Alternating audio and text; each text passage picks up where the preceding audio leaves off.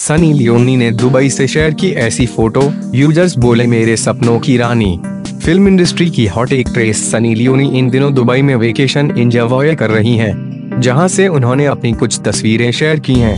इनमें से एक लेटेस्ट फोटो में वे बिकनी में नजर आ रही हैं। इस तस्वीर को देख एक यूजर ने कमेंट किया है कि मेरे सपनों की रानी उल्लेखनीय है कि सनी लियोनी ने बॉलीवुड में एंट्री एक लंबा सफर तय करने के बाद ली थी